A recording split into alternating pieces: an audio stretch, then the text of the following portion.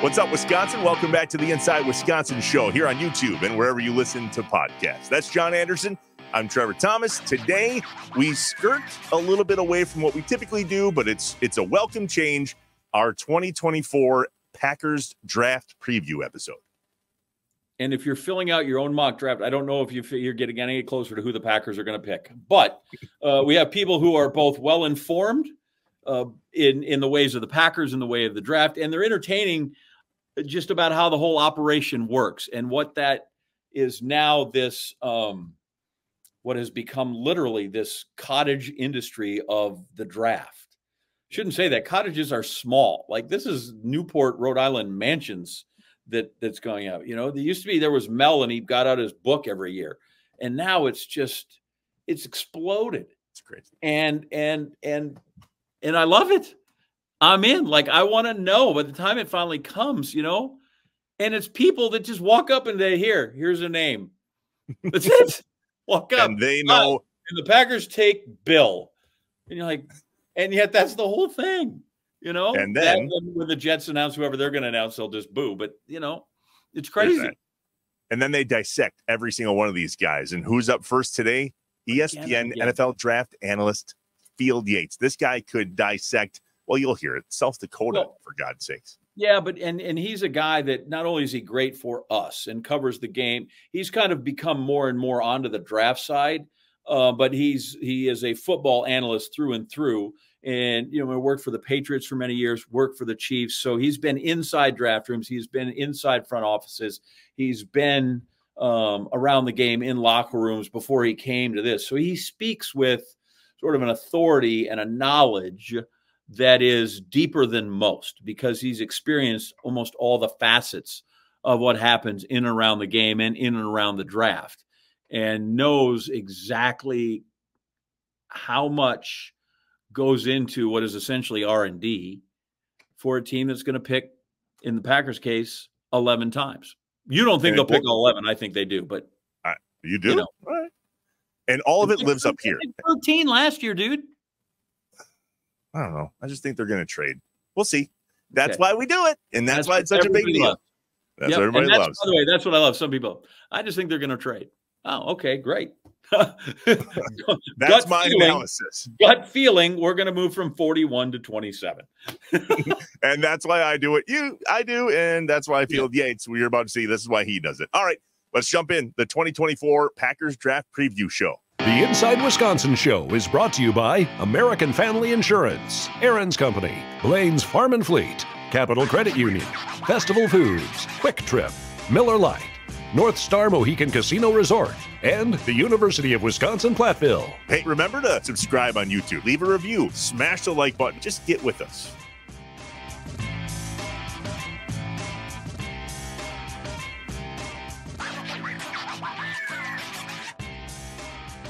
We brought out the big guns for the draft show. ESPN NFL draft analyst Field Yates. JA made a, a call in a favor. What's up, Field? Thanks for joining. It's great to be on with you guys. And when, as, as John said, when, when, when he asks, I like to answer the bell here. And it's an honor sure. to be on with you guys, talking about all things NFL draft, Wisconsin, you name it. We can talk about favorite well, restaurants in the greater Hartford area. I'm here for it. yeah.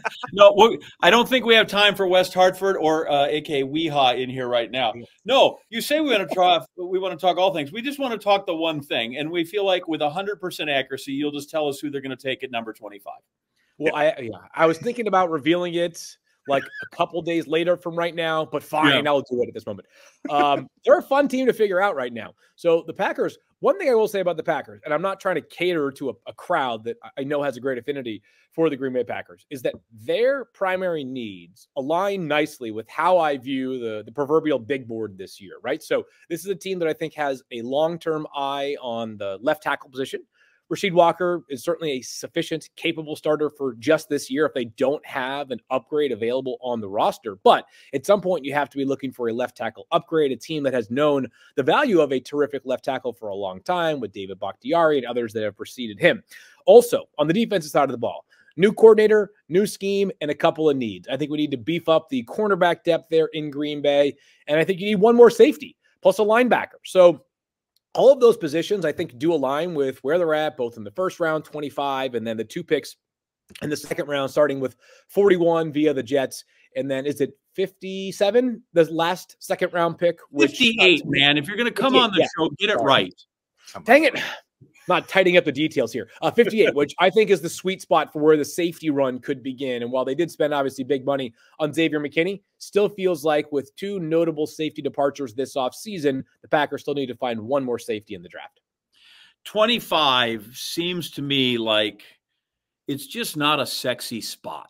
Yeah. Right? Like it's like it, it's good and you can get somebody and if they're a 10 year starter it's fantastic. But it's just it just you know here are all the bright names that are going to have the flash and the I, I don't know how do i feel about just picking in that spot in the draft which is listen when you're good like them that's where they've lived for a long time well, someone told me this was was talking about a team that's been there uh, near the the 30 to 32 range for quite some time, and they were saying like one of the luxuries of being a really good team year over year over year is that in the first round you can hit a lot of doubles, and that's okay. Uh, we all want home runs, but you know sometimes you realize that first round picks become strikeouts, like pretty quickly, which is a problem in the NFL. So being in that 25 to 32 range actually affords you ability, the ability to find a player that like has a high floor. Maybe his ceiling isn't as high. So the Packers could go that route. And there are some players that fill that category or that bucket, if you will. But I do think there are enough of like upside upside type prospects that also fill a need. And Green Bay is in mm-hmm. this unique situation because – and I'll just cut to the chase of a player that I think could be on their radar pick number 25. It's Tyler Guyton, offensive tackle from Oklahoma. I'm sure you guys have discussed him. I know every Packers fan has thought about Tyler mm-hmm. Guyton moving to Green Bay and uh, the potential and the upside and you know the physical traits. But the reality with Tyler Guyton, for a guy who's got one full season as a starter and not that many like cube snaps playing offensive line at the college level, he might need half a season, a full season to realize his full potential. But if the draft were simply done based off drafting for potential, he'd go much higher than pick number 25. So that, that could be an example of a player who falls a little bit lower than his talent suggests he could potentially be one day. But given the fact that he's green and there are some teams that are picking earlier than the Packers that may need to protect a young quarterback who needs immediate help, he might fall relative some, to some other pro ready, if you will, offensive tackles who could hear their names called five, six, seven, ten slots ahead. It's no secret that Gutey likes a lot of draft picks, though. However, I think there's a 100% chance that they do not pick 11 times. Do you move up beginning? Is it a, a shuffle at the end? What are your thoughts on that? Okay, so if the offensive tackle run that involves the guys who are a little bit more ready made right now goes a little bit slower than I am currently imagining it, then I think the possibility of moving up a handful of slots from 25 to 20 or 18 or 16, something like that, could certainly be addressed if you're the Packers. But I think saying at 25 has like, you know, has, has real appeal just because of the fact that if they don't move, they still could get a corner, an offensive tackle. I think it's a little early for a linebacker. The best probably in this year's class is Edgerrin Cooper, Texas A&M linebacker who's got just off the chart speed. He was actually one of the best pass rushers in college football this past year. He had eight sacks. The guy was all over the place uh, for the Aggies during what was an otherwise disappointing season for them. He was kind of one of the few bright spots. Uh, but I think they can stay at 25 and still fill those needs. But if that run goes a little bit slower, which is hard for me to totally envision given the fact that so mm-hmm. many teams need offensive tackles. But in an unlikely scenario where guys like Olu Fashanu or Tali Fuaga start to slip a little bit, then I think that's when Green Bay can pick up the phones and start thinking aggressively. Can't wait for Caleb Williams to fall to 24, and they're going to be like, God, are we going to have to pick another quarterback? This is again come through. Uh, given some of the places you worked inside the league when you were in in uh, New England or Kansas City, like I, I, feel like that aligns to some degree with this Packers. They are draft and development kind of people. Yep. Which every time I hear that, I go, well, but that's a lot easier to cover a mistake than if you sign a free agent for a lot of money, right? Those are cheap mistakes to make. Okay, you blew it on a fifth rounder. Fine, we can get them going. Uh, just your your thought on their philosophy and how they kind of go about business and have pre Gutey to um, um, come on, give me the guy's name. My dad absolutely just despised Ted Thompson. Ted Ted Thompson, who yeah, my dad was just yeah. oh my goodness, uh, you know, but just it's this is not just a one year thing. This is a team that has done this 30 years like this. Yeah, they have. Now, it feels like a little bit of a different version of the Ted Thompson Packers now that this team has gone big game hunting and free agency, Xavier McKinney recently, but even going back to the year they signed the Smith brothers, Darius and Preston, and you know they've they've they've made some splashes here that um, we were not accustomed to. I remember when it was, I think they signed Julius Peppers, and it was something like the ninth straight off season prior to that that they had gone without signing an external free agent for more than like three million dollars or some ridiculous you know number and streak relative right. to what we see from teams all over the NFL map. I mean, there are teams that every year feels like they're spending big in free agency. But if there's a team that right now, I mean, I think the answer is obviously the Chiefs get to kind of puff their chests out. But Brian Gutekunst get he gets the chance to like to sort of say I told you so to everybody out there, right? Because he followed a very specific plan last year. He said we're going full on youth movement. We traded our quarterback, the four-time MVP away for a package that you know, it wasn't a terrible package. It's hard when you have that size of a contract and a quarterback who wants to go to just one team, and the fact that uh, you know draft capital is hoarded in the NFL. So to not have a guaranteed first round pick was not to me like completely inexplicable by the Packers, but it was still a bold move, a roll of the dice, and Gutey was willing to make that roll of the dice. His Jordan Love pick from three years prior worked out masterfully, even with a slow start that had me asking some questions about mm-hmm. whether the Packers maybe had some seller's remorse and moving on from Aaron Rodgers. But Brian Gutekunst has done an excellent job with this Packers roster as far as the blend of like I'm often saying like it's nice to have a handful of guys that you know you, you you've had around long enough that they are kind of the veteran, the old guard of the team.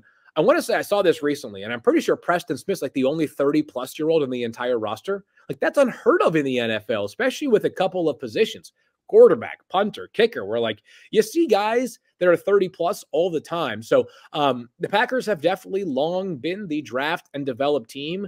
Gutey's desire, interest, and willingness to roll in some free agency every once in a while, I think has served them really well. And while you can't hit every single big investment you've made, it's been a while since the Packers did something that I would categorize as an absolute fail, like basically diminishing return on your investment from the moment the move was made.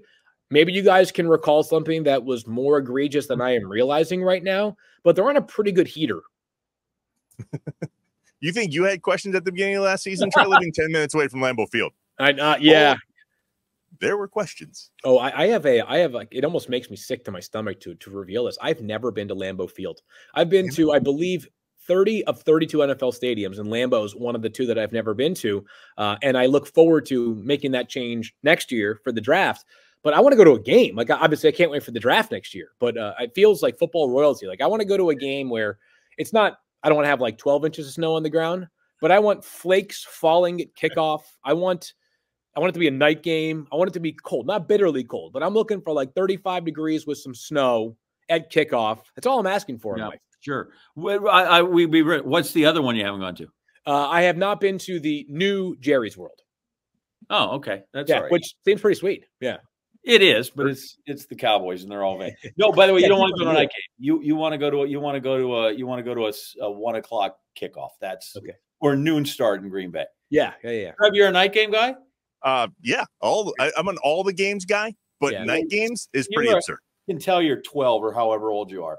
No, no you, you can tell I know a guy with season tickets. You want to go to noon, game gets over, you go home, you get cleaned yeah. up, you go to a supper club that night. No, you know, that's just me. That does sound like that. That's Wisconsin for you. I've only spent uh, my only experience in the in the great state of Wisconsin was uh, when I was working with the Chiefs. Uh, I was there the last year or two that we did training camp in River Falls. Mm-hmm. What a lovely corner of America that place is. I mean, that is like I've never met nicer people in my entire life than River Falls, Wisconsin. Oh, they were. That awesome. was literally my next question. Was Have you ever been to Lambeau Field? So, Ja, you're up. I'll think of something else. Well, I, no, listen, that's okay. Uh, we we've touched on this with other people. I want to know, like, if if Aaron Rodgers plays and the Jets go great, I still don't. I'm not. I was not buying their Super Bowl people. Yep. And so, like, there's a chance they could have had the 25th pick yeah, something like that. So they get they get the the 41st out of this. Did they get fair compensation for him? Like I get if we just measure it against he played four snaps, but just in by and large, if you're making that deal and you're looking in the front office, you go, oh, we did all right. Yeah, I think so. I think they did all right for a few reasons. Is first of all, I think the most important part of the trade is that they're validated with their decision to take Jordan Love. Right by the end of the season, maybe this makes me a bad uh, sports media person these days. I don't have like the the energy to debate was Jordan Love a top five, top eight, right. top 10 quarterback? I just know that he was a damn good quarterback by the end of the season. And the Packers now have their plan for the next maybe a mm-hmm. decade, right? I mean, that seems to be the shelf life on these Packers quarterbacks. You give them 15 years and then they draft your replacement by about year 12 or 13, and then you just move on, and that's okay. Um, so I think that was the most important part of it is that if Jordan Love had played poorly, even if Aaron Rodgers had, even though he did have that four play season in total for the Jets, if Love was no good, then people would be saying, I mean, separate, who cares about how long Aaron Rodgers was on the field for the Jets? We have a quarterback conundrum in Green Bay. But the fact that Jordan Love was so special for the Packers by the end of last season and did what he did in that playoff game in Green Bay. And then, I'm sorry, in Dallas. And then they have the halftime lead over the 49ers and give them all they can handle against a team that obviously ended up playing in the Super Bowl and nearly won the Super Bowl. Uh, that to me was the most important dynamic of that trade, even if it wasn't a certainty at the time was the trade was made. I think back to this, and I'm not blaming the Packers or Jordan Love for being amenable to it, but I think back to how fascinating it is the Packers last May, the beginning portion of May, rather than picking up Jordan Love's fifth year option, ended up doing that modified two year extension with Jordan Love, which, or I guess it was a one year mm-hmm. extension, but it covered last year, right, in this this upcoming season. Um, and it's it was an acknowledgement from the Packers that hey, like we, we still need to see a little bit more. We'd like to see something. With I guess there was nothing for them to have seen by then. He had one start uh, before they had to make that decision. Meanwhile, from Jordan Love, it was a bit of a hedge, right? It was mm-hmm. okay. So if they're not going to pick up my fifth year option, at least I had more cash in my back pocket this year and next than if I bust in 2023, become a free agent, and all I can get is some backup quarterback money. So to me, uh, it's fascinating to think back just how different or just how much the perception of Jordan Love changed. It, even the Packers and Jordan Love himself acknowledged as much. I feel like also the thing about picking 25th here is it's sort of bust proof. Yeah. And I mean, like when you take Tony Mandarich at two and you don't and you don't do well, you're like, oh my gosh, he's terrible. The other, like I look at this, I always this is my example, and I'd love to hear your opinion on it. AJ Hawk was a great player for the Packers, but he was picked fifth. If AJ Hawk gets picked at 25th, we go, that might be one of the greatest number one picks they've ever had. Yeah. He got picked at five. So everybody's like, well, I don't know if AJ Hawk was ever quite what we thought.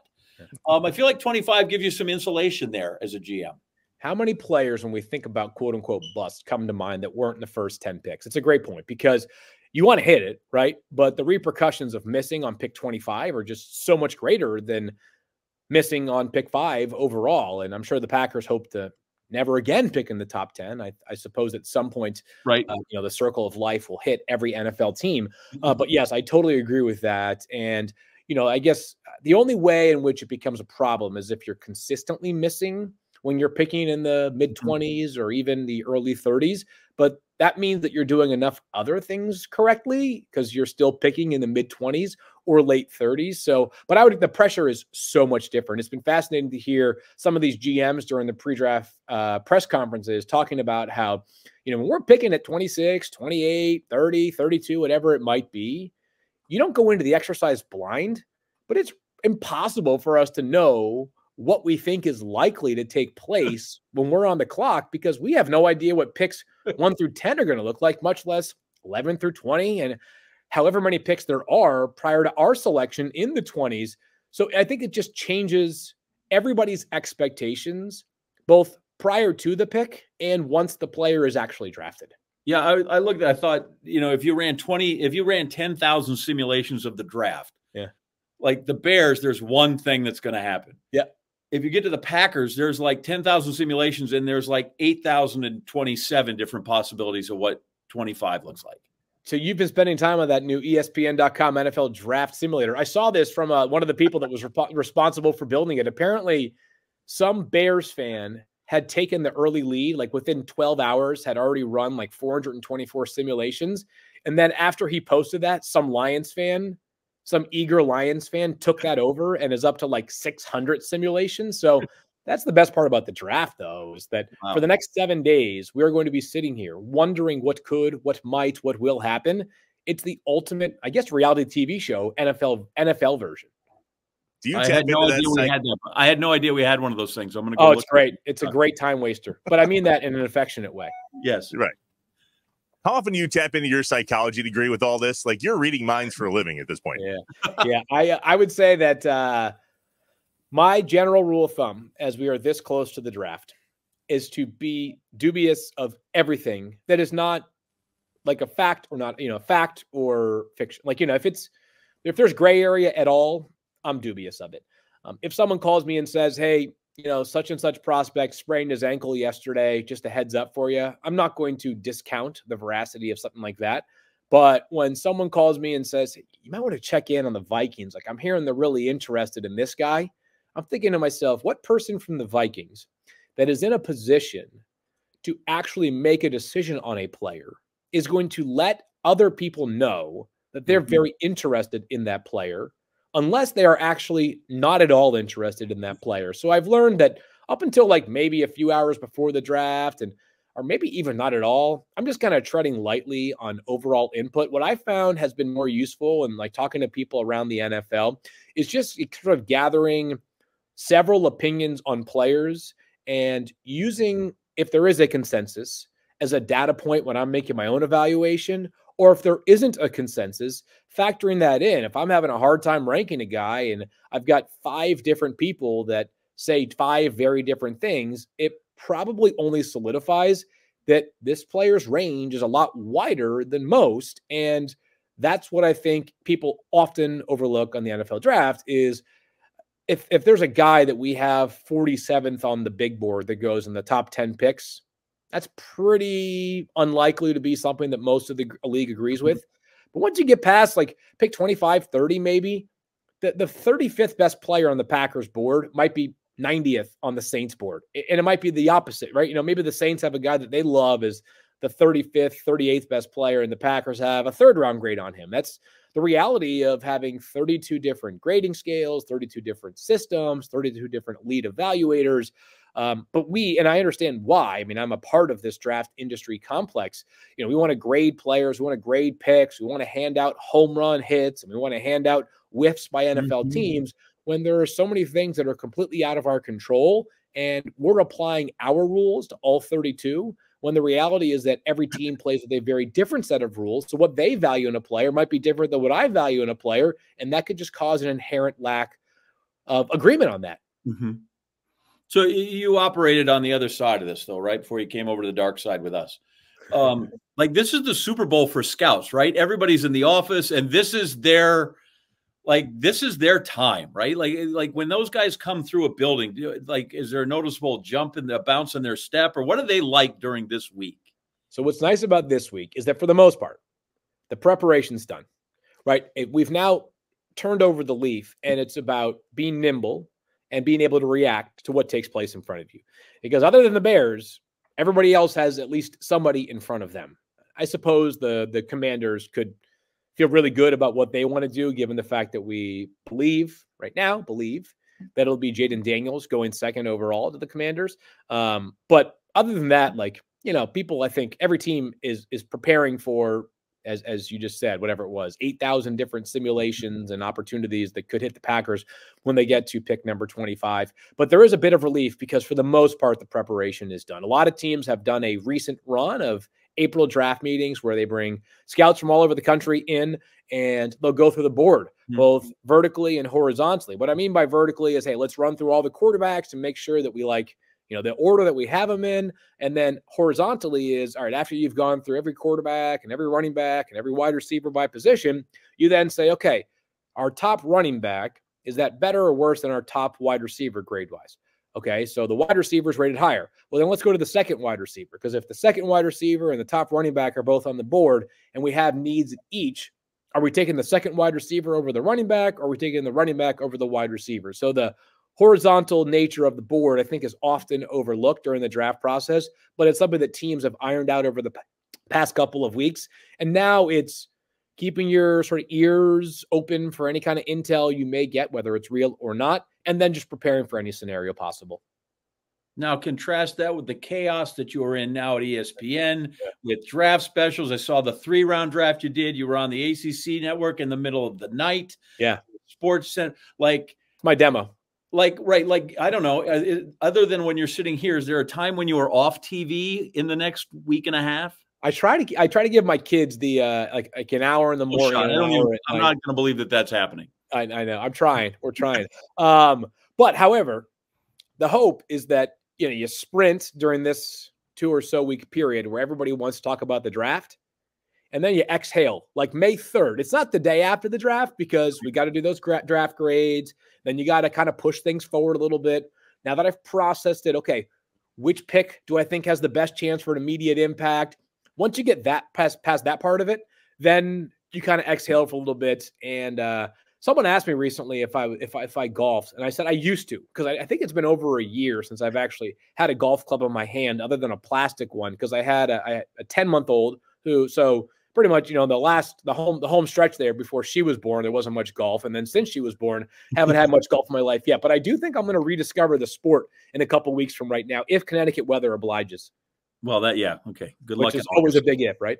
Right there with the schedule release, and that'll ruin that day. Yeah, of course. That's what's going to happen. It's going to be 80 the day they release the schedule, which is the greatest. Like, if anything speaks to the the popularity of the NFL more than the schedule release, let me know because we know, like, you guys, um, you guys could probably recite who the Packers are playing at home and on the road next year. The only variable we don't know is what week they're going to be playing these teams, and yet there is amazing interest in just filling out that one last piece of the puzzle. Plans have to be made. Plans have to be made. By the way, I do know the Packers are going to open in Brazil, which what the hell? oh, I didn't even. you guys take the podcast on the road that week. That would be no. great. No. My Portuguese, my Portuguese is iffy at best. I, you know what? I wouldn't put it past you to have some Portuguese on the ledger. Just telling you. It's just, and remember that, people. If you're a Packer fan, they don't speak Spanish in Brazil. They speak Portuguese. Portuguese. Don't get crossed up by that. How many Packers fans are going to show up to Portugal with like um like a, a, a, Spanish Rosetta Stone? Like I got this, guys, no problem. I brought it with me. Instead, realizing it's Portuguese. These are these are people that put on Carnival every year and are going to go like, I don't know that we've ever seen people like this before. and they've seen some stuff. They certainly, you know? certainly. I am I pitching. I am pitching to see if the Packers will let me go with Gisele and just see what the hell happens. Why not? That would be great content. Yeah, just me and Gisele hanging out. Too, right? I'll yeah, teach her about the Packers. She can teach me about you know uh, the the joys of Rio. But so far, uh, those calls have gone unanswered on, by, by, many parties. But that's still my goal. That's ridiculous to me. Ridiculous that they would do that to you. Yeah. Not return your call. Show a little respect, will you? We'll see. We'll see. Field, were you also at one time uh, directed to lose Aaron Rodgers' number, or do you still have that by chance? Oh, that so my my, my colleague Adam Schefter uh, did lose. I think he was directed yeah. to lose the number. Yeah. Um, I don't know that Aaron could pick me out of a lineup, which is okay. I mean, Aaron's uh, got a lot of people in his life that I'm sure are pulling him uh, in many different directions. Uh, but that was a great moment. That was a great moment uh, when I'm trying to think. Did Schefty reveal that, or did Aaron say that publicly to America? I feel Schefty like revealed it. Yeah. Schefty revealed it. And then Aaron was like, Well, if we're going to screenshot some stuff, I'm like, Whoa, whoa. This is. yeah, those yeah, are all- that, that's like an anxious few moments there when it's like, what, what is he going to yeah, reveal if, next? Right. If I can just steer away from the Packers for a moment, which seems terrible, uh, but in that division, you've got uh, the Bears are going to take Williams. The Vikings are going to find their way somehow to get to a quarterback. Uh, what are our draft hosts and division winning Lions? What's what's on their what's on their dance card? Do you think? Well, first of all, they're picking 29th. This is like uh, this is this is new territory for them. It's been a while, yeah, um, which is a testament to them. But they need some help in the secondary. Uh, they needed help in the secondary going into the offseason. And then amidst legal troubles, they cut Cam Sutton, who they signed to a three year deal for mm-hmm. decent money last year. Um, but they were going to need help there. So you can you can almost pencil that in as one of their first two or three picks. They need some pass rush help. They obviously have a good player in Aidan Hutchinson, who had a great year this past season, but he needs some help, whether it's a edge rusher, whether it's an interior rusher. Uh, and then they probably need another wide receiver, which sounds crazy when you have Amon-Ra St. Brown, who was a first team All Pro last year. a first round pick in Jameson Williams, high scoring offense. But uh, that that and I don't want to react too much to just one game. There's a bit of a mm-hmm. fool's errand involved in that. But as you guys recall, I mean, drops were essential to the 49ers beating the Lions in the NFC Championship game. Dan Campbell infamously went for it on fourth down and he was aggressive and it generated all sorts of opinions from every corner of people that have a platform in sports, whether it was right or wrong. If a player makes a catch, we're not talking about it the same way. So um, they need more wide receiver help. They need some edge rushers and they need a couple corners. Uh, not a bad, not a bad year to need some corners, by the way, just in general across the league. It, the, the depth goes from like an early run on perimeter corners to a decent run on slot corners.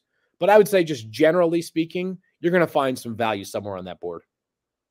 One more for me before we move on, because uh, he's busy, cat Field Yates. We talked about it earlier. The draft is here in Green Bay next year. There could be two feet of snow on the ground, and it could be 80 There's degrees. not going to be two feet on the sky. Come on.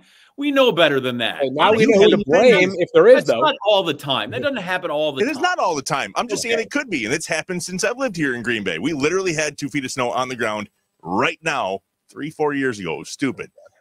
It's Are you excited for that? And what is it about the draft? I guess that eh, we talked about this a little bit earlier. Green Bay is a mecca by itself, right? And now bring the draft here. That's just different. It's just different than Detroit. It is. Um, you know, I guess I said earlier I have great remorse about not having been to Lambeau Field before. Um, it's hallowed ground though, and I'm not saying that just to cater to the audience here. It really is one of the most special places, uh, really in all of football. And I'm going to take the lead from anybody that's been there, but um, you know, I, am I love when, and I, I he, he did it yesterday, and I thought it was like unbelievably awesome when Bill Belichick goes unfiltered, and he was talking. You know, he, he's talked about Lambeau in the past, and just I think it might have been when they did uh, joint practices either last summer or this summer with the Packers. At some point recently, the Patriots and Packers had joint practices, and when he is waxing poetic about the history of the organization and Lambeau Field, I think that kind of speaks for itself. Um, but I think it's cool the NFL has rotated the location of the draft. I loved Radio City for many, many years. Obviously, was the mm-hmm. home. I think it was nearly 40 years consecutively that Radio City um, hosted the NFL draft. But what's been cool about the rotation of the cities is that every year it's been like a personal challenge to the subsequent host city to outdo the last one. Right. So we've been to Chicago, we've been to Philadelphia, we've been to Nashville, and it's been like every year it's yeah. like who can show that last year's crowd was not as raucous as this year's crowd. Cleveland was also in there. I'm sure Detroit will be incredibly spirited. Uh, and I can't wait to see what, what what Green Bay is like. I mean, I'm sure there'll be a massive contingent of people from out of town, just given the the total population of Green Bay. Which do I have it correct? It's like something like hundred thousand people in the city of Green Bay. One hundred twenty thousand, yeah, give 120. So yeah, so just like yeah, it's a smaller metropolitan area, obviously, than than Detroit or Cleveland or Philly or any of those markets. Like I can't wait to see what the complexion is. Is it just basically everybody in the entire state of Wisconsin there, or is it you know the 120 Green Bay residents, 120,000 Green Bay residents, and then people from all over the map? Which that that'll be fun to see. Is Travis 120? Is that like city proper, or is that adding in yeah. the subs? So that's the kicker here. There's the greater Green Bay metro area, which is about the size of Madison. So Green Bay is 120,000 people, but this Northeast Wisconsin area is gigantic then bring everybody in from out of town, and that's why we're probably getting a VRBO our condo. Let's be real. You, you oh, say, smart you man. say gigantic, but gigantic, you mean like there might be 200 tops. Like it's not that gigantic. Probably a half a mil. when it comes through, it's there. no weehaw. It's no weehaw, right, John? You know, it is not that for big for us. Okay, sure. big for I us. I can't wait. Um, uh, I have this question because I, I, thought, oh, I'm wearing my Wisconsin thing. Um, Braylon Allen, uh, eh, where's he goes? He, he good Fond du Lac kid. I feel like eh, you know running backs their value is different than I remember. I, I still can't get used to that. Uh, but I feel like he's he's going to go high to somebody that's going to get a pretty good player. Yeah, I think the range is probably starting somewhere in the third round. So Braylon's an interesting case. Coming into this past year, I would have said, you know, there's a chance he's the best running back in the entire draft class. Not that I need to explain this to you guys, but if there are people that are watching or listening that don't know all about the systems that were in place for Wisconsin this past year, I mean, mm-hmm. this was not your father's Wisconsin Badgers football team, right? The offense was totally different. Uh, I don't know how, if, if Tanner Bortolini, the center from Wisconsin, had ever shotgun snapped prior to this year. I'm being a little bit facetious there, but right. that this was a power run it down your throat between the tackles running scheme forever, right? Uh, so Braylon, who, as, as we all know, looks like the Incredible Hulk, was the perfect fit for that. Uh, this past year, it was was good, but it wasn't as dominant as it had been uh, earlier in his career. Those first two seasons, he's 20 years old. It's the youngest player in the entire draft is Braylon Allen. So if there's a team that's looking for a power back, and I keep thinking about the Cowboys in round three as a potential Braylon Allen fit, that to me would be a reasonable spot uh, for him to go. I could see somewhere between like let's call it as soon as like pick 90 to maybe like 130 or so would be the range for Braylon Allen, somewhere in that in that territory. Better chance of getting drafted. Um, Tanner Mordecai or me? uh, how many years of, of, eligibility do you have left at the college level? Because I want to see if we should instead send you back for. Nope, nope, I can't. They, they, don't. They don't have the nil money to afford me anywhere. I know, God, I know. It's um, new era, man. Hey, next year we're gonna have at some point soon we're going to have this massive draft class. I saw the Giant GM Joe Schoen say, and part of it's the COVID year. So these guys all had an extra year of eligibility, yep. but part of, part of it's the reality of NIL. They had 170 players they had draftable grades on. They had grades on that went back to college this past year. 170.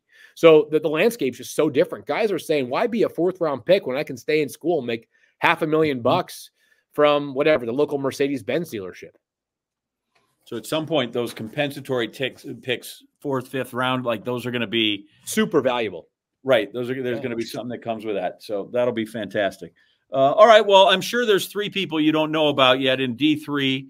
Uh, you know, we, we let you catch up. There might be a guy at UW Oshkosh that you need to study up on. Yep. And uh, think of any uh, any small school guys up there in Wisconsin. Not as many. You know, there are quite a few in that that region. You know, both both the Dakotas, which is not right next to Wisconsin, but not you know, at close. all close. Not even. Yeah. well, from someone who's lived his entire life basically in the Northeast, North Dakota sounds closer to Wisconsin than uh, it does, right. like you know, West Weehawken, Connecticut. Right. Um, like if I'm just, am I just going to go? Like I know you spend time Wesleyan because that's just like being going to school in Vermont. You tell me, okay, fair enough. Okay. Right? Now I get it. Well, I was going to say this is that like they're, uh, I think we call it the Great Plains region, is what yes. some scouts will do. And they'll have as far west as the Dakotas.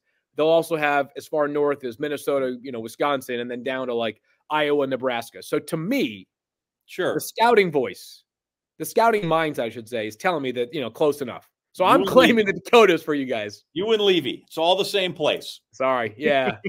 Us, you know, Levy's Long Island, but close enough. Us Northeast guys, you know, like we have simple minded brains.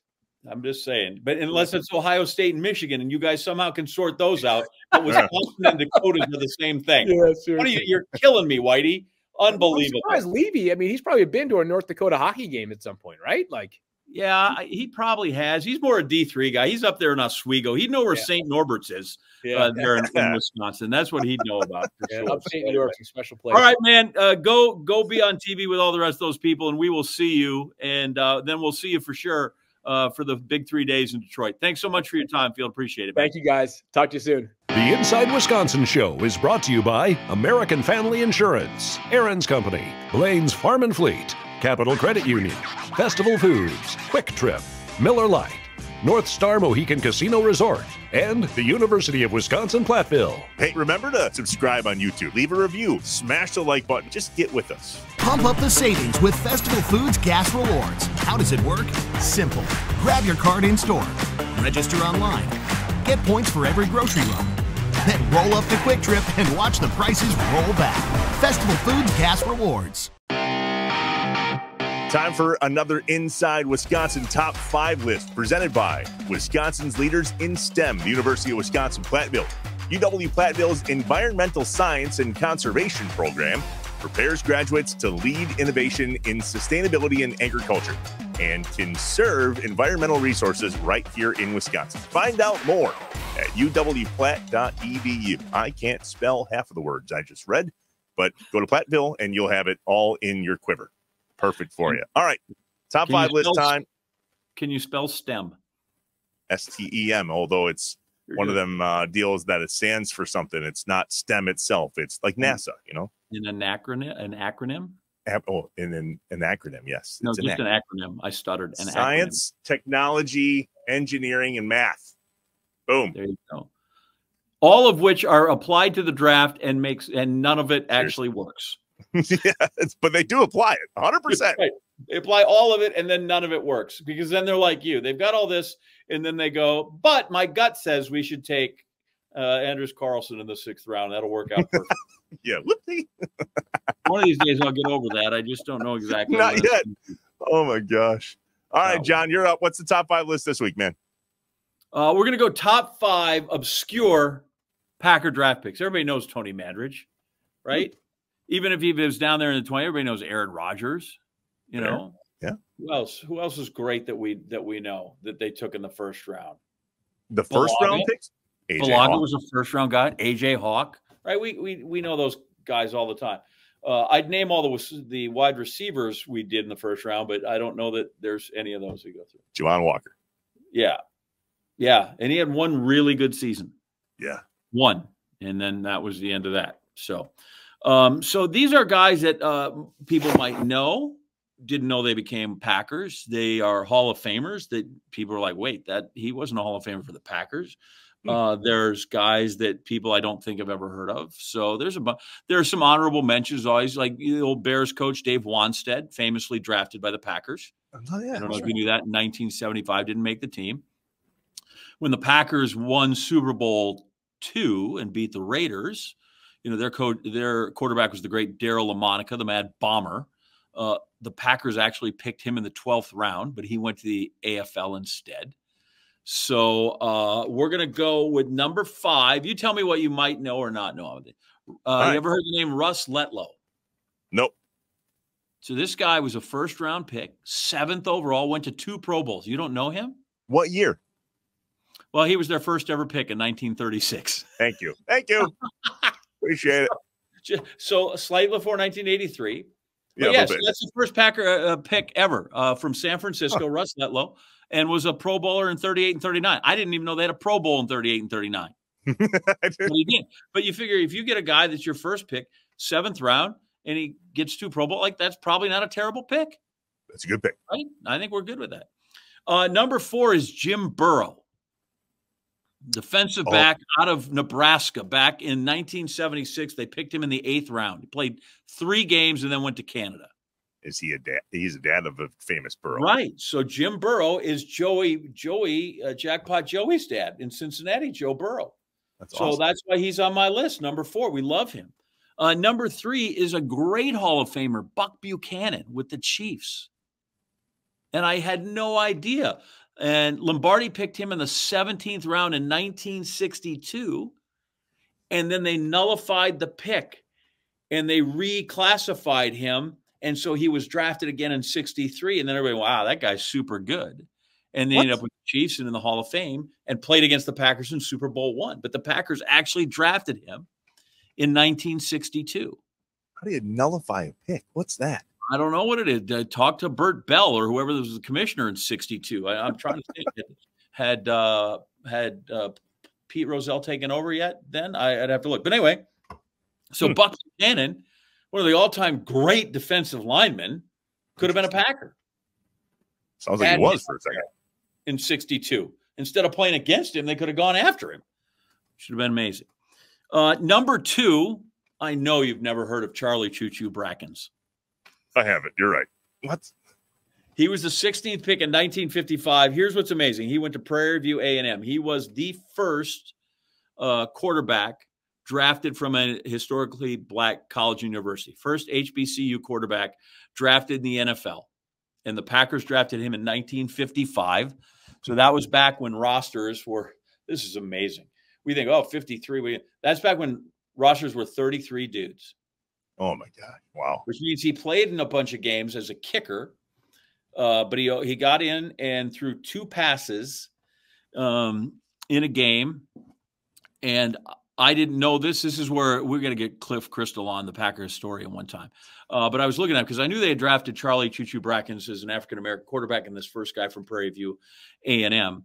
Uh, but according to Cliff, so he, he gets in the game, they're getting wiped out by the Browns and he throws two passes. And then the next week they go to Chicago. He breaks curfew and they cut him. What? Get out. Wow. Charlie didn't make it through the whole season. 16th round pick in 1955, Charlie Choo Choo Brackins in the College Football Hall of Fame. And number one is the most bizarre story, I think, not just of any Packer draft pick, but maybe in NFL draft pick period. And it's an ugly story. So we think of the worst pick the Packers probably ever made was Tony Mandarich at number two, right? And it made it worse because Barry Sanders was number three and he went to the hole. That, yeah, that hurt worse. Yeah, that's what it is. Randy Woodfield was drafted in 1974. He's drafted in the 15th round, right there with Wannstedt. Wannstedt was picked in 74 as well. The difference is yeah. Wannstedt didn't make the didn't make the squad and went on to be a really great college coach and a really great NFL coach as an assistant and led the Bears. Randy Woodfield, who was drafted in 74, also in the 15th round, um, all he turned out to be was a serial killer. Oh, you've talked about this before. That's right. Like, that's legit. So he went to Portland State and he was kind of oh, creepy man. there. He comes to Green Bay. He goes through training camp, and then they kind of maybe they don't know what they knew and didn't know was that he kind of had this propensity to like to go and expose himself. And that was so they kind of quietly ran him off. He played on a semi pro team the next year or that year in like Oshkosh or somewhere, stuck around. And eventually hmm. that didn't go well. And he became like, he kind of became a little notorious for being this perverted guy. And he goes back to Portland. And then there's this series of brutal killings in Oregon. They called him the I 5 serial killer. They finally nab him and convict him. They don't know, they convict him for a couple of things. It turned they think he may have killed like 44 people. Jeez. Right? Like I don't want to dampen the show here, but I don't know if people knew that. I had no idea. This guy, Randy Woodfield, uh, huge article in Sports Illustrated. You have to go to the archives to find it, but it is fascinating. Wow. That the Packers, clearly unbeknownst to them, because you know we do our research some, but it's the the serial killer part usually doesn't show up in the combine or yeah, even the yeah. The Packers at one point, worst pick ever, most obscure, and the least. The Packers drafted a serial killer one time. And all of a well, sudden, Tony Mandarich doesn't look that bad, does he? Seems like he's okay. And yeah. Anders Carlson, all is forgiven for missing a few field goals. Like this was a bad dude around. Nobody had an idea how bad a bad dude is. And then of course then the mental health goes and it, it you know it spirals. But it's just yeah. So where you have Charlie Choo Choo Brackins who didn't make it because he he missed curfew, what was historically significant. Then you have this guy who is a monster and uh, is is crazy. Added, added to the list of questions of making a pre-draft visit. So, how tall are you? How do you feel? Everything hurt? And oh yeah, have you killed anybody? Like, right? Jeez. Yeah. All right. Well, better luck with this draft. I, I would think that they'll be better. I don't yeah. think that you know there's that, but you, you never know, right? Like, I don't think the Patriots knew that Aaron Hernandez was going to no.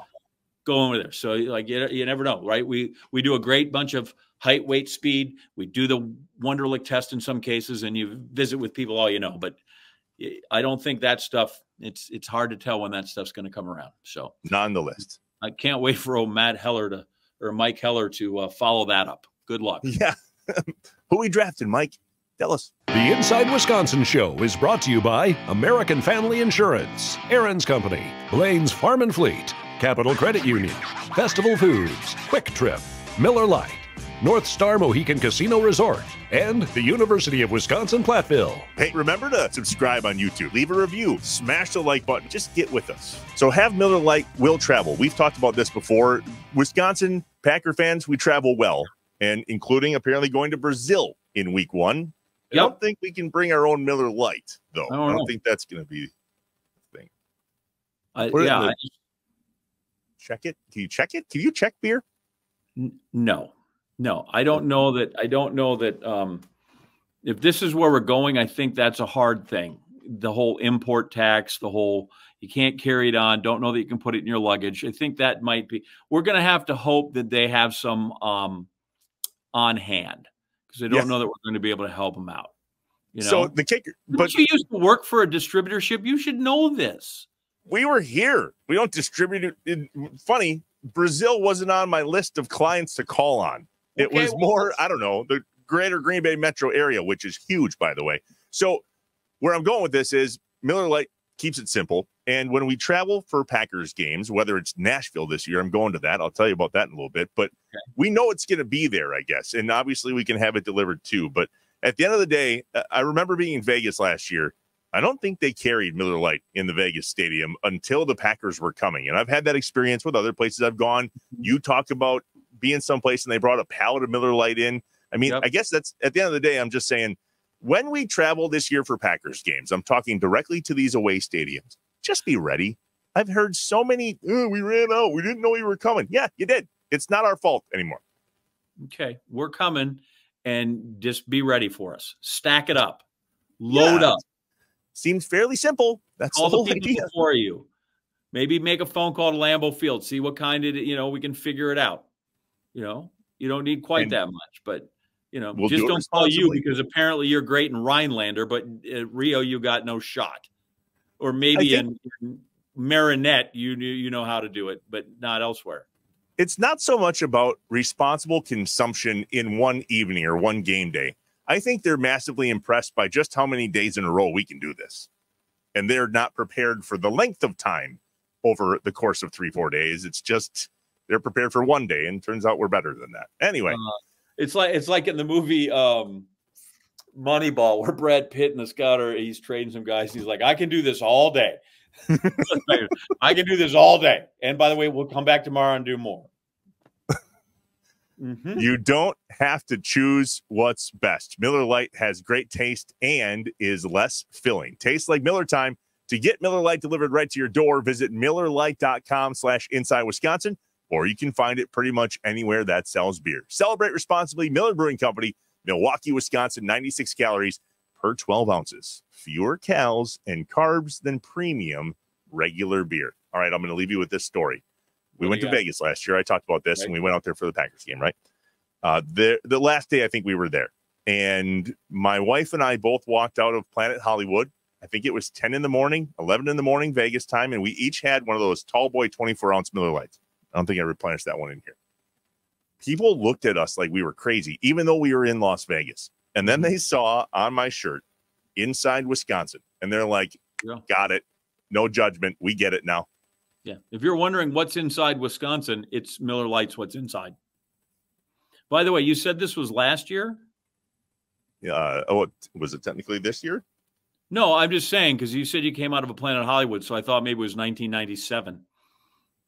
That's a great. We'll argue about that a different day. And joining us now, the host of the Mike Heller Show on the Game Radio Network across Wisconsin. That's Mike Heller himself. With a little, Hey, what's up, Mike? how are you guys? Good to see you. I liked how you looked over the shoulder, mate, like there was somebody else in the room that we were Yes, talking about. Good Uh, I guess Lord. it's That's just me. It's just me. So, uh, boy, I have a lot of things I want to get to, but the first one is it has absolutely nothing to do with the Packers. A player who they might pick is just. I feel like um, um, you're not a 22 year old guy where you grew up and the draft That's was a thing. Like, are you- did you ever think in your life that you would see a draft that had to be three days, nationally No. televised, a tourist destination, that you would spend how many hours on your show? It's stunning to me, and all we're doing is picking players. Never, never in my in my wildest imagination did I think this would become a made for TV and destination event ever. Uh, you know, you, you look back at the old videos when Pete Rozelle is picking up the phone in a conference room at a hotel, you know, off somebody's lobby and, and making the phone call to somebody.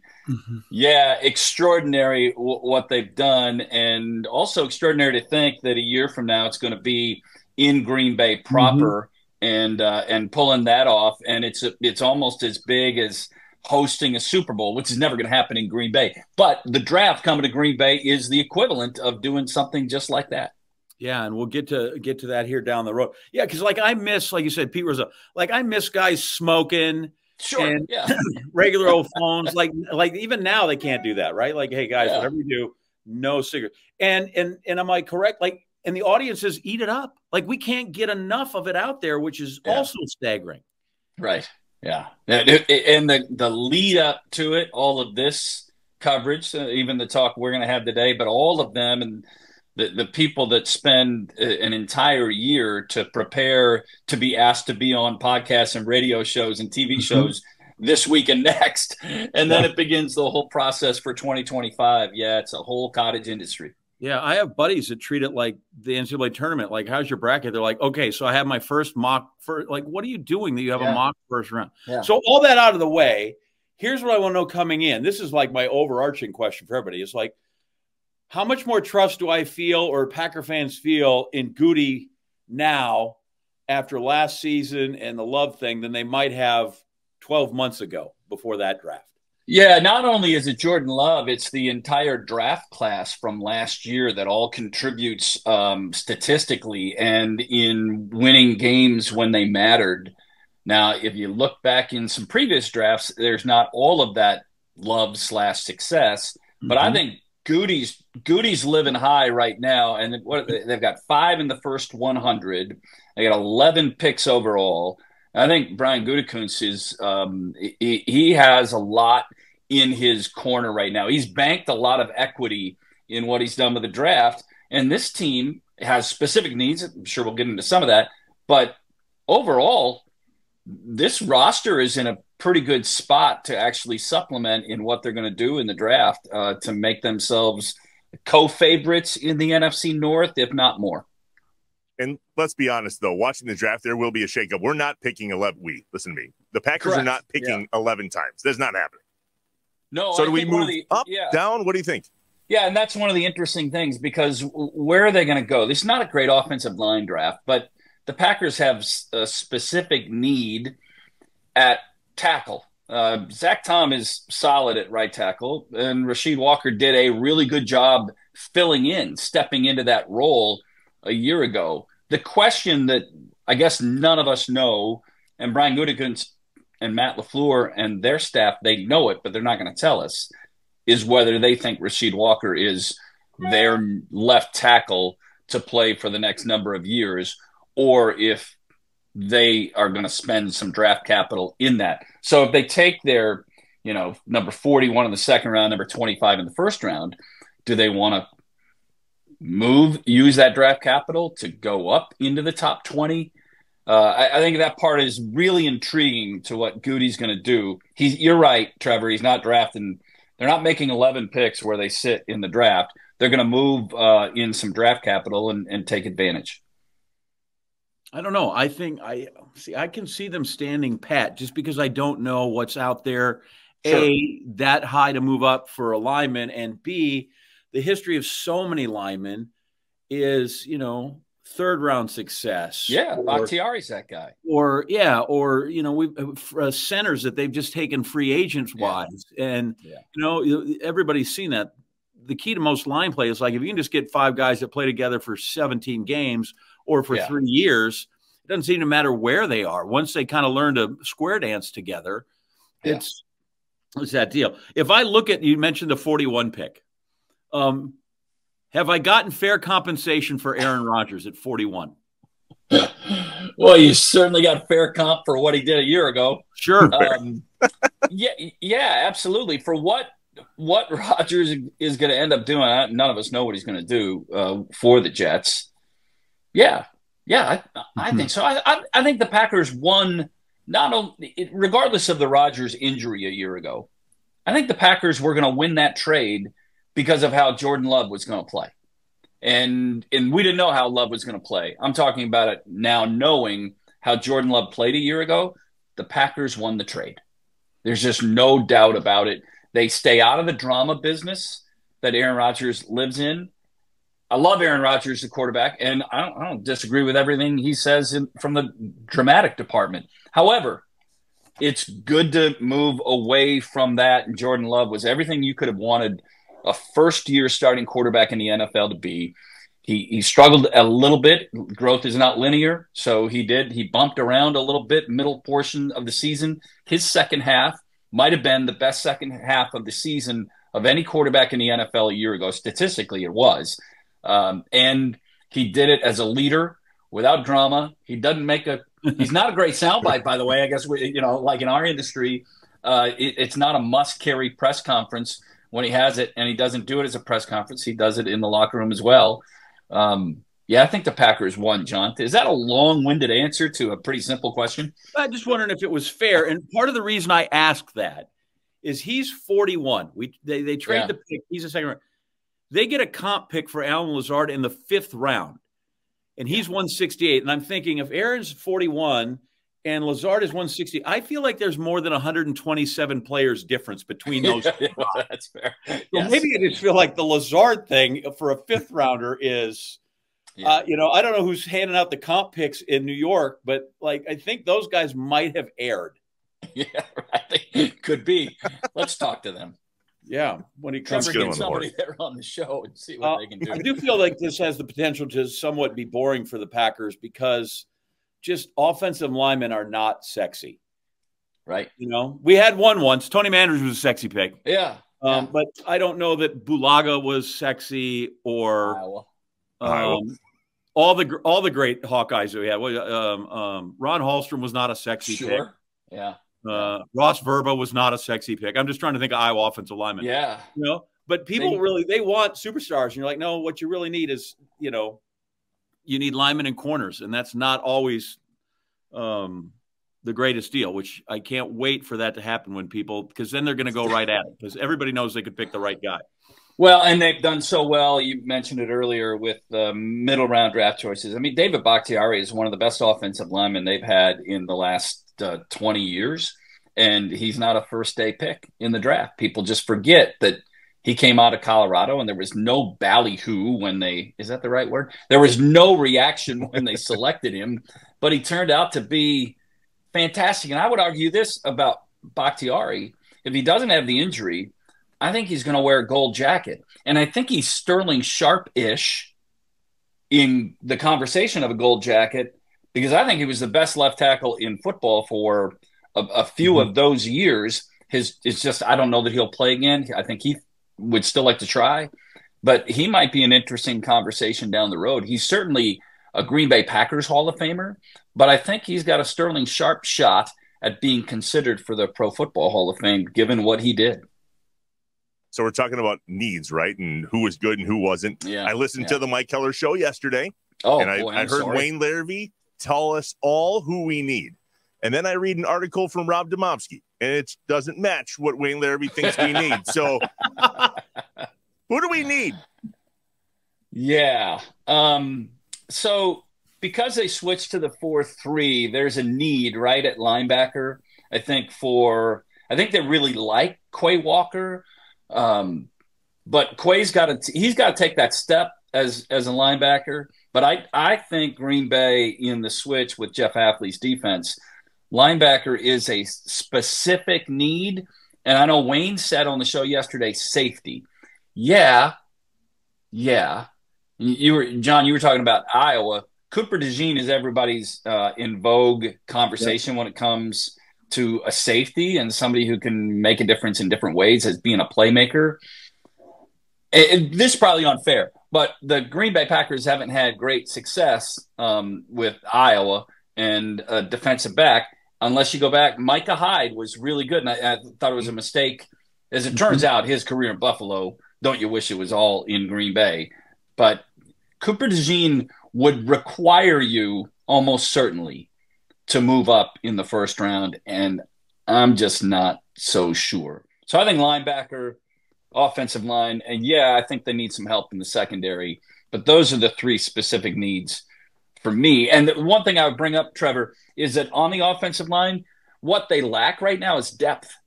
Last year they had it, but Runyan's gone. Um, you know, David didn't play last year, but Runyan was a, fairly important figure in that mix. They they need some they need some depth on the offensive line, and that's boring, right, John? But that's yep. probably what they'll need to do. But that's I have written down here. Like there's positions of need, and then there's where do you add depth? Like those are two really different things, but equally yeah. important kind of thing. Sure, we got to plug a hole, but especially on the line, you know, like nobody just hears the five guys and they play every yeah. single snap. You got to have six, seven, eight of those guys to go through. Um, is it nice to have people not call you or have people um, um, just rattling your cage like when will they draft a wide receiver like i feel like people are like okay we don't have to have a first round wide receiver. This like if that's off the board Yeah. this time. They, I feel they like don't need to question. sign one. They don't need to draft one, right? They, I mean, Bo Melton. We had I was talking to Donald Driver on my show the other day, and Bo Melton's wearing his number. Bo Melton wasn't somebody anybody thought of all last year until the end when number eighty, Bo Melton, was making a splash because of other injuries. Yeah, I mean, there's a probably a likelihood that they'll still take a sixth or seventh round. What do they have? They have two seventh round, two sixth mm-hmm. rounders, and two seventh round picks. Maybe one of those is a wide receiver, but no, nobody's calling a show, John, and saying, "Hey, when are they going to spend a first round draft choice on a wide receiver?" Well, it's not now. Are they? I was. oh, go Are ahead, they Jim. do you think they're happy behind Jordan Love? Because that's a huge question for everybody all the time. I thought Clifford was fine, but it's, you kind of don't know.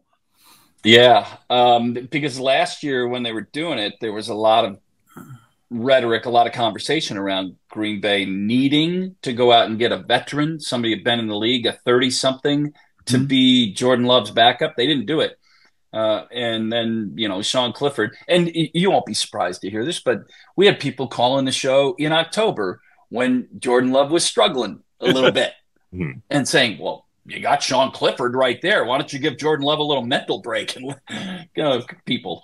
Um, I don't know if, if Clifford is the answer, and I don't think John. You've been doing this a while. I don't think you know until you see him in a game. Game, mm-hmm. not a preseason game, not in training camp, certainly not in OTAs. You'd have to see him based on necessity in a game that matters, and then see how well he plays in that moment. Otherwise, you don't know. So you mentioned at the top, right, that the draft is coming back here, ne- back. It's going to be here next year, right? Somebody this Yeah. week asked me if I was going to the draft in Detroit, and I'm like, absolutely not. I, I don't have any desire to go to the draft. Right? Yeah. But a couple hundred thousand people do when Uh-huh. it's here next year. Are we ready for that? What's that going to look like? I don't know.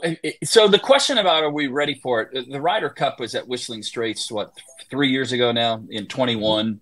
I think we handled that pretty well. The U.S. Open was at Erin Hills. I think we handled that pretty well as far as an influx of lots of people. I don't know that there will be as many, or there were as many at the Ryder Cup. Certainly from a number standpoint, I think it was 35,000 a day. So we're talking about a lot more than that. Is there going to be a cruise ship anchored just outside of Sturgeon Bay with all the rooms for, you know, and then they run shuttles from Sturgeon Bay or Egg Great. Harbor, Fish Creek coming down to, to Green Bay for the draft days? Are people Airbnb in Stevens Point and Wausau and Oconto and, you know, parts unknown, Eagle River and Anago, and then bussing in on the, I have no idea. Yeah, I think everything infrastructure wise will be ready. I don't know where people stay.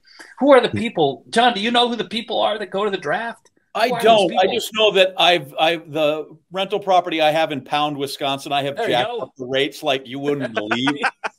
Out Wisconsin. that's that's there. I, again, that's the same thing. But here, what I think makes it even crazier, and maybe I'm just torn and I think too much of of my hometown. Uh, like I don't know that I'm going to Detroit. The draft, yes, but beyond that, I don't know. If it's in New York, let's go, and then honey, we catch a show. We go to Chicago. Yeah, yeah. things. There's not a lot of other things in Green Bay to do, but I, I think people might think this is my pilgrimage chance. Sure. Yeah. And so I think there might be this influx of people, even on top of what they usually get, just to say, I got to go see this place. yeah. And, And, and the, so one I of the think- curiosities is where Yeah. it's going to be in the stadium Yeah. too. Will they utilize the stadium, or are they going to utilize um, Resch Expo and and out that way, or are they going to utilize um, you know Titletown District? Which of those is going to be where you have players preparing to walk out onto stage? Is it the big Oneida Gate steps on the east side of the stadium, looking up, you know, over at Nitschke Yeah. Field and Resch Expo? There's so many unknowns, and then you know, you can look now. There's no way it's going to be a precursor, but go ahead and look now at the extended forecast of what next week looks like in Green Bay, because that's your time frame. And somebody had said last year when they when they announced this, you know, what if it snows? I said if it snowed, it would be perfect. Awesome. yeah, it would be like you couldn't create a better scenario than if it snowed. Uh, but a drizzly sideways, you know, 47 degree rain, which is far more likely in Green Bay in late April, isn't it? But can you imagine instead of giving them hats, you give them a team parka when they come out? Yeah. and then have it have the real ones. So like so when it zips up, you yeah. just get the little fur hood, and you're like, I don't even yes. know who that guy is. We just picked. Yeah. But apparently he's going to stop, you know, some rush and coming around. That's the thing. There's a lot of cool places that they could do things with, whether it's the Resch, whether it's the Hutson Center, whether it's what's already existing yeah. for Titletown. And Trevor knows this. I've uh, right on the corner there of Oneida and Lombardi is where one of my best friends in the world lives. He's the one who's got the um, uh, Lombardi Trophy carved, uh, sawed, sure, yeah, carved out of the front row and they have a really big uh, garage because they used to have a camper. So I've told the Packers like I can get that spot too because it's bigger than a normal garage. like it's they've got a normal one there, and then they've got a really big one. Right. And so far they've only chuckled at me like maybe I wasn't serious, yeah. but I think it could come for a song, and sure. you can people in there. But uh, it, it is really because in, in this case you are exactly right. It's as close as they'll come to the Super Bowl. I think yeah. it's most people that will ever come in for some sort of event that really isn't, and I say this yeah. with all seriousness, seriousness, some bowling congress event, yes, right? They've had before, yeah. Um, I, I and I, I, it it strikes me. I don't even know how many folks will come. It's equivalent. it's going to be a lot. You're yeah, going to have to wait at to, to EAA. Yeah, we don't have any tolls. Yeah, getting up EAA, but they camp. Right. Yeah. That, so that whole place is filled with campers and tents um, yeah, it, it, it's a year away, but it sure is going to be interesting, fun to watch. I'm sure that uh, every broadcast entity in the state is going to. They better plan for it now because otherwise they're going to be broadcasting from Menasha and talking about the draft up in Green Bay. So, yeah, and and everybody, the people, you know, like people at Augusta are used to their little town, yeah, and that's what it feels like. It feels like, uh, like Hannah Storm made a great point when we were at the Boston Marathon. Um, it feels a little like Augusta National, this little town and people come in, or Wimbledon, which is kind of the sleepy town, and then yeah. everybody comes in, and it's got that same kind of mm-hmm. feel. Yeah. But the people at Augusta are used to it coming every year, so they just rent their house out for a fortune and leave. I don't see anybody here wanting to leave. Yeah. Right? Like I could say I'll, that to my mom. rent mom, my house out. Oh, house She's like, forget it. I'm going to go. I'm 84. I'll never see this again. You right. know. She wants to make up for watching the Packers draft Randy Duncan. She's like, I don't need to see this again. I want to so, see somebody for real. Remember what the Deer District looked like when the Bucks won the NBA title three summers ago. I mean, that's what the draft looks like, but it's it looks like that for three days, and yeah. it's it's that times three or times four of what was down in the Deer District. So it, it'll be an extraordinary watch. I would have zero interest to going, like you were mentioning earlier. I would never plan to go to Detroit to see no. the draft. If the draft was in, and it has been in Philadelphia, right, a few years ago, I wouldn't yeah. have gone to Philadelphia for the draft. If I'm going to go to one of these places, I go for a different reason. But yeah, it'll bring. It is. It is Green Bay Super Bowl. Um, you know, from an on-game standpoint, this is as probably as cool as it's ever going to be. One more for me as we wrap it up with Mike Heller on the Game Radio Network all across Wisconsin at an event at Lambeau last night for UWGB, and I met Jeff Hafley. And oh, I asked him, yeah when he walked into the D coordinator's office, did he take it down to the studs just to make sure that this is new? And he said to me, Nope, I walked in, I put my stuff down, and I got to work. Right. So yeah. we know that that's going to be affected in this year's draft, but it can't change overnight. So can you just help us, like, make sure that we don't over expect things, I guess? Yeah, nobody's going to do that. We're always going to over expect. Uh, yeah, well, we, we want to see dramatic changes, right? Yeah. Uh, the, the, defense was good enough last year uh, when it mattered to win. Now they weren't good enough in the fourth quarter in Santa Clara against the Niners, but they put themselves in a position to win the game. Had Jordan Love and the Packers offense acquitted themselves well enough, the defense had done enough to win, right? So I don't know what we're going to see, uh, Trevor, from from a, and I don't know what people want to see. I know what they want to see. They want to see an 85 Bears type defense. They want to see Fritz right. Shurmur's defenses. They want to they want some of that. I don't know that they're getting that, but uh, it, it, you know they needed change. Uh, Barry's day was done a while ago for a lot of fans in Green Bay. They were just waiting for the time. So you mentioned that they played well enough because there was one issue that still sticks with everybody because there were three points in there that could have helped if they had gotten those.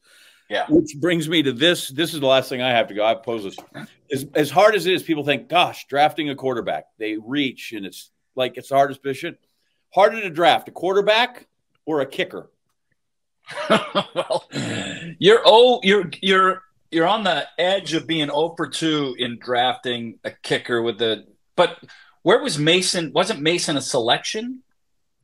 Was uh, Mason? He, yeah, he was deep down there. He was. Um, but I'm thinking, you know, that like Tampa spent. Remember they? Uh, what was the guy's name from Florida State? Roberto Aguayo. You know, and he yeah. was bomb. And it took a while for yeah. Janikowski when he was picked, that get second to be anything. You know, Chester Marcol was a second round pick. He was okay yeah. for a couple of years. I just like every once in a while, people like, yeah, we really love this guy. We're going to spend a seventh round pick on him. And like, I don't know. I think it's literally harder to figure out if a kicker can play in the NFL yeah. than a quarterback. It's it's uh it's like the building or establishing a new business. Like when you're building one from the studs, the second owner is much happier than the first owner on building a business, and that's where you can find like one of my favorite Packers kickers of all time is Jan Stenerud yeah. because he was going to make everything. And he had already established and he just didn't have leg strength. Crosby's probably still the kicker a year ago if the new kickoff rule was in play last year. Yeah. Right? Don't you think? Because his problem is they, they didn't want to have to cover all the kicks and he couldn't get the ball to the end zone. But this year, now they don't want you to get the ball to the end zone. Mason Crosby, if they'd have had this rule a year ago, yeah. probably still the Packers kicker. Yeah, all he did was get it between the uprights. Jeez, every time, seem, seemingly every time. Yeah. yeah. what a what a horrible thing to be saddled with. that is true. That is you, true. You did call that, Jay. All right, Mike now, Heller, thanks for coming so on, man. Before we, before we, let you go, real quick, yeah, we're just going to have you give us who they're going to pick at every one of those slots. Go ahead. let me. I didn't make that note yet. okay, so you're. I get it. You and Mel, the final book isn't out yet, but Maybe you could call in who we're taking with pick 201 in the sixth round later, and we'll just add yeah. that. We'll yeah. run it up. We'll we'll have uh well it'll be Mike's picks, and we'll just run Put a crawl on the, the bottom. Yeah, yeah please. We'll scroll That'd it along. We'll, we'll, do that. Send them in. Okay. Trevor, I'll get I'll get that to you later. Yeah, uh, text it to me. What'd you think? yeah. Mike, good to see you, man. Thanks for jumping on with us. It's uh, fun hey, to chat with you. Thanks for letting me invade your space. It's kind of appreciate fun. it. Appreciate it.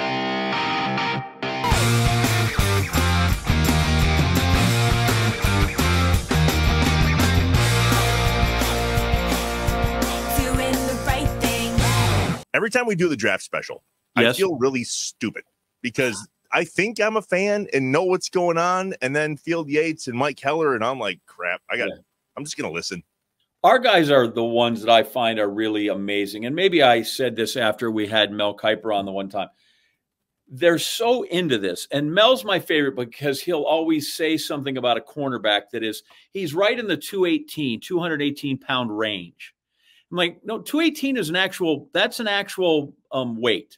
You can be in the 220 range. You could be in the 210 range. 218 seems specific. You know, here's Trevor. He comes in, he's six, seven, and three eighths or thereabouts.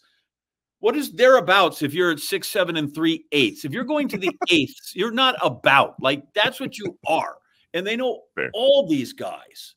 And then to see our place, that they have video of all these guys. You know, it used yeah. to be, yeah, here's the top 50 and then the top 100. And now we uh, we we got thousands of clips and bang. Hey, here's Crazy. the St. Thomas third string long snapper. Hang on. We got that.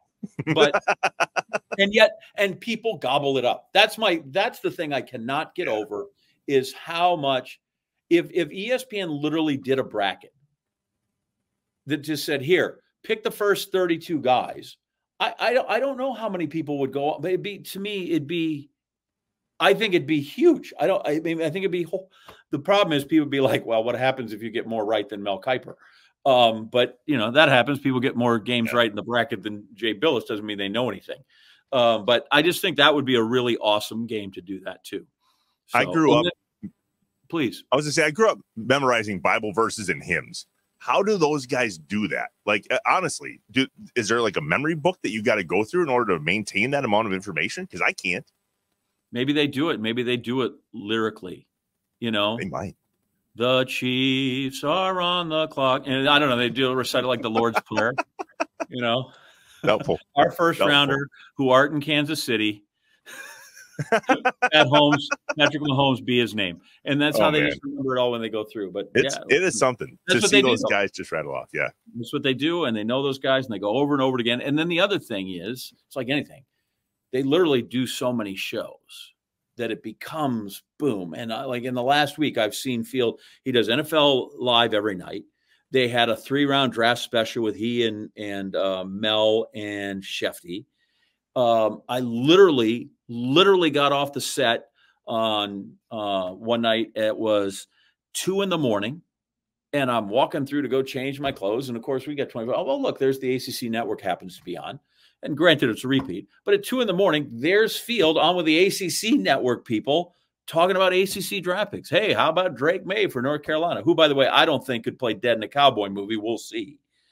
um, I wouldn't take him, especially given the last NC uh, UNC quarterbacks that have come out with with uh, Sam Howell or you know uh, Mitchie six points uh, Mitch Trubisky. They have they haven't great, so I'm not sure I'd be lining up to take O Drake Maye. Maybe he'll prove me wrong, and that's fine. But right now, I'm not uh, not so sold. Here's the thing I find about this, though. Right, they're going to get done, and they're going to on day three. Here's Mister Irrelevant. You know, it's Right. to be Brock Purdy or whatever. Which, by the way, I feel bad for that guy because if he'd been drafted one one pick before, we'd just say he's a great quarterback. Now he's always tied to this thing. But soon as that's done, Green Bay is on the clock. Yeah, that's crazy. That And it- it's hard to it's hard to picture, right? Because we don't know where the stage is going to be or what the setup is going to be. And anybody that's been to Lambeau knows the area and Titletown and the the Resch Expo and obviously Byron's, Byron's mom's garage. Gotta have Right. it over there. I think you should go to B. Fralick's garage, but that's fine. I think that's the hardest part about it right now is because we don't know those things. So we know it's coming. We know there's going to be literally hundreds of thousands of people here. Mm-hmm. Every hotel will be filled 100 miles around Green Bay in the Appleton area.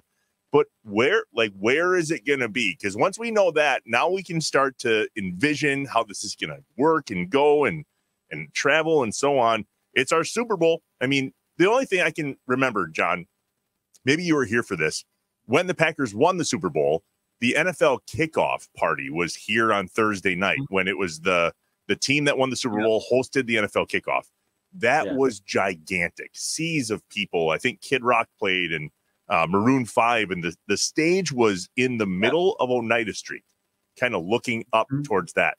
And I wasn't I, I wasn't even kidding about the weather. Like you have to take that into consideration. Is it going to be indoors? Is it going to be in Lambeau? Is the atrium going to be the green room? Do you know any of this? Can you please jump in and say you're right on all these things? Maybe, maybe. I can't because obviously no one can predict the weather. Yeah, fair. Do, but honestly, it don't think it would be that think? bad. But I might, I might, I might have an inkling on some things, but I'm not at liberty to say. Mm, Nor, nor would I like anybody to say those things for me. So we don't want to, we don't want to get those things out. I don't want you to say anything that you don't want to say. That is not what we're doing on this show.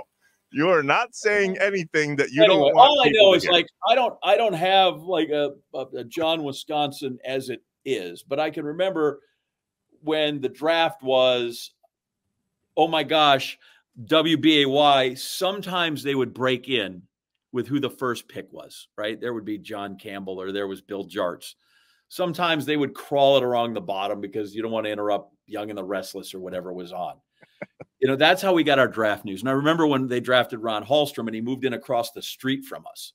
And I think he got a big um, uh, feel for what he was getting for because everybody in the neighborhood made a giant sign that put on his garage, welcome, had a hawk, tiger hawk on it. Said, welcome to Green Bay, Ron. And I'm thinking, he's like, oh my God, who, who are these people? And these are my neighbors. I think they've just invaded my privacy by putting a very nice, very nice sign on my garage.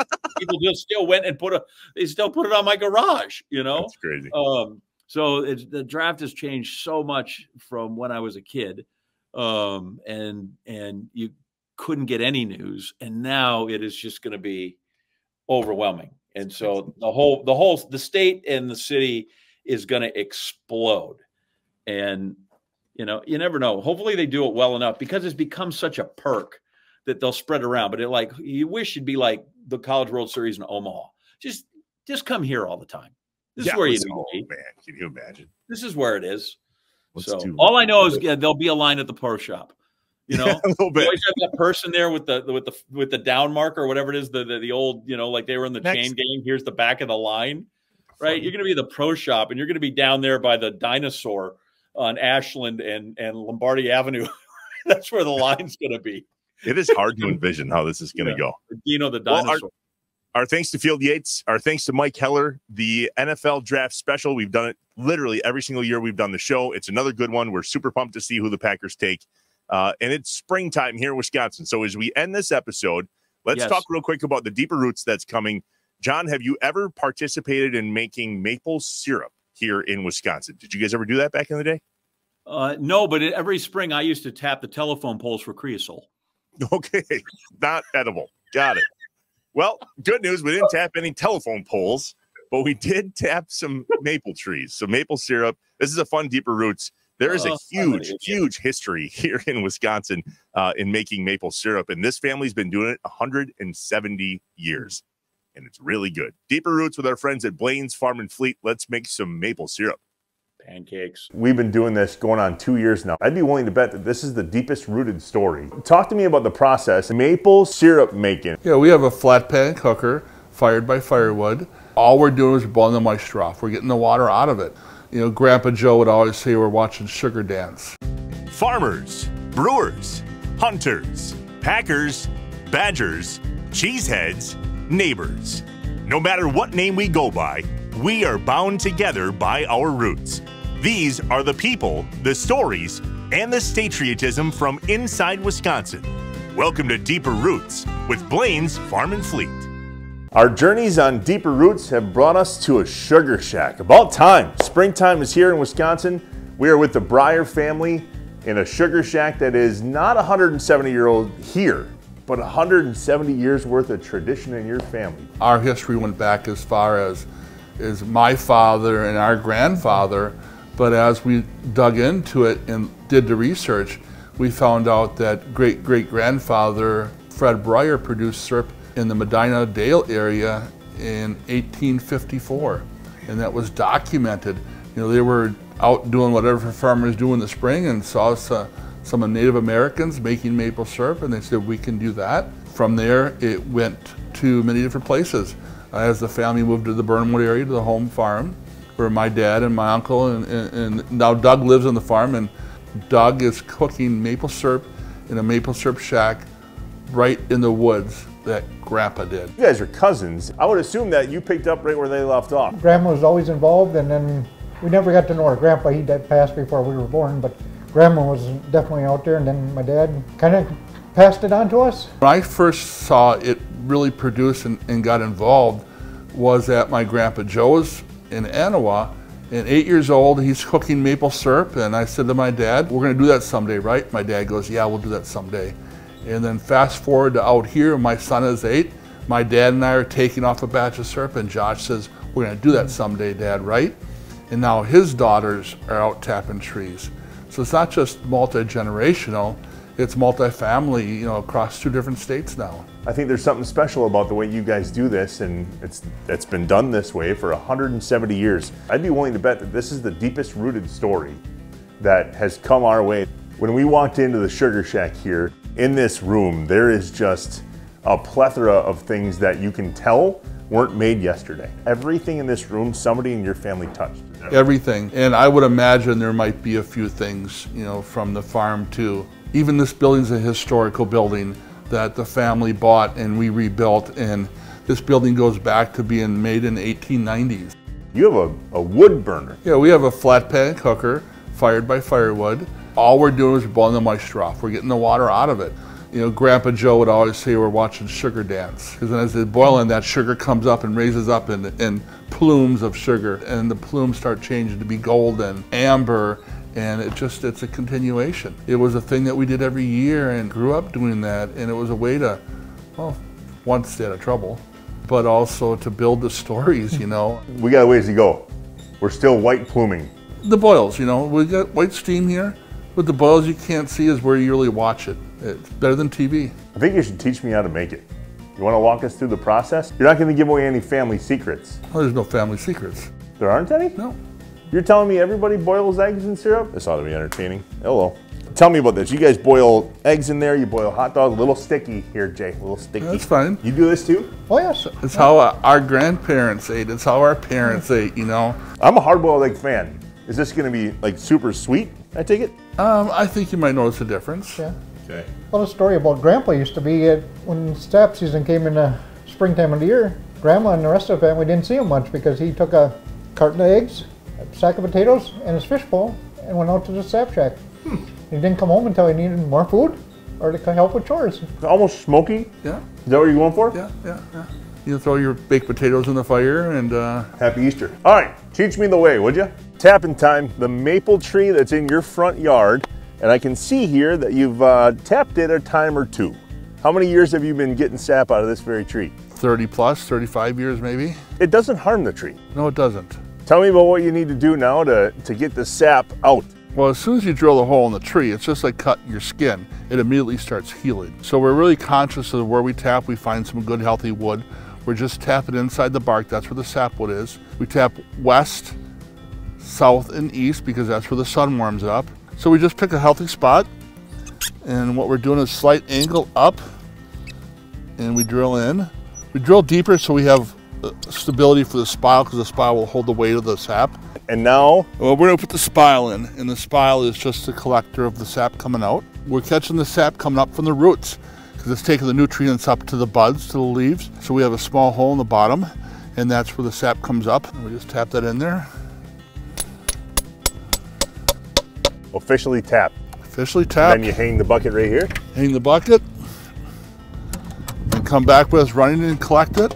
Cover it so you don't get stuff in it like leaves, bark, Rain, chipmunks, raccoons. random yeah. cats. Yeah.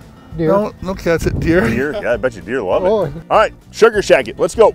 And the idea here is boiling it down. Is that just the best way to put it? Just boiling water is what we're doing, and it's the process of getting to the boiling point. And as it gets more dense, the boiling point is different than the boiling point of water.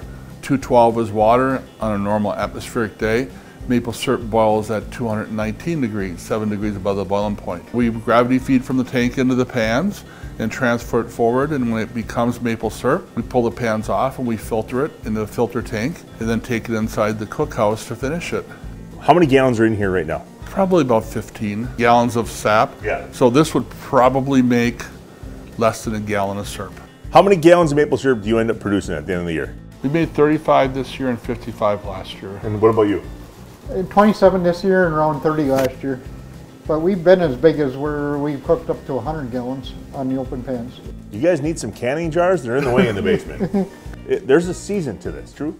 True. And generally speaking, it's things are very early this year. Seasons years ago used to be 10th to 15th of March to the 10th to 15th of April. There's trees being tapped in early February, all over. You also have to watch out for if the frogs croak twice after the killing frost. It's going to be a good season, not early. But if we have an early sap moon, we could have an early season. For the sugar to properly be released, we need to have a certain amount of daylight in a day.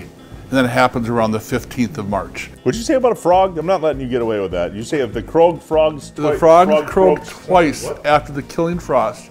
You're going to have a normal syrup season. That's what my grandma Avis told us. We're talking about the fall now. yeah, yeah. What are the ways that you get rid of all the maple syrup? friends and family, since we rent our trees, we don't own all of our trees, we always give syrup back. Some markets like uh, yard sales or produce sales and things like that, but word of mouth. What does it mean to you guys now to kind of continue to pass on a legacy? Just imagine if somebody sees this or hears this, a parent or a child, and they can say, I can do that. I got one maple tree. I can put one tap in. I can get one quart of syrup. And then next year, I can maybe do four. Wisconsin last year was the fourth largest maple syrup producer in the United States. It's all the little guys that are, are tapping, you know, a tree that they borrow from a neighbor or a tree that they find on their land. But when you look at the jar and go, I did this, it's all natural, nothing added. I made this with my own sweat and tears and lessons learned. I made this. As if there was any other way to end an episode, we eat. Thanks for letting us tell your family story, guys. This has been really cool. So let me just make sure that you guys get what you have coming. There you go. This will be mine. Okay, I'm just, no, no, no, no, no, no. What's in your stack of pancakes? after making maple syrup for a month, month and a half. Um, usually there's no maple syrup or pancakes here, Mima. But yeah, two is fine. Two is fine. All right, grab one for yourself. There's there's always a. Oh, yeah. It's kind of like opening a can of Miller Lite. I'm not gonna lie. And a little goes a long way, or no? Use as much as you want. All right, taste test time. mm-hmm. There's not gonna be a single one of those left. I don't even want to talk anymore. You guys go ahead and close it out. I'm done. Really, really cool.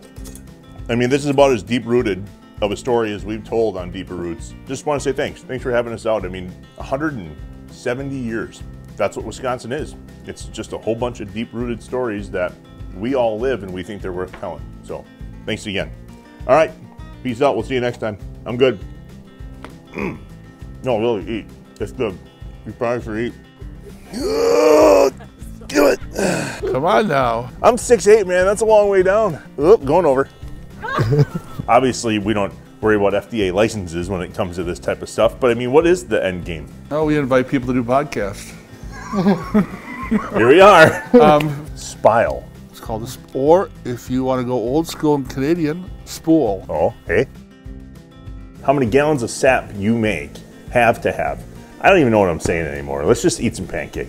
Big fan of pancakes with that Wisconsin maple syrup, courtesy of the Breyer family and 170 years of legacy. Thanks for having us out. A special shout out to Paula, who submitted this incredibly deep-rooted family story on the website, farmandfleet.com slash deeper roots. Jay, Doug, the whole family, it was great to see and meet you guys. If you have a story you'd like us to share, head to that website just like Paula did, farmandfleet.com slash deeper roots. If you're watching on YouTube, like us, subscribe, let us know what you loved in the comments below. And if you're listening on the podcast side, go ahead and leave us a five star review there as well. See you next time. Talk to you later. Bye. Remember to subscribe on YouTube, leave a review, smash the like button, just get with us. The Inside Wisconsin Show is brought to you by American Family Insurance, Aaron's Company, Blain's Farm and Fleet, Capital Credit Union, Festival Foods, Kwik Trip, Miller Lite, North Star Mohican Casino Resort, and the University of Wisconsin Platteville.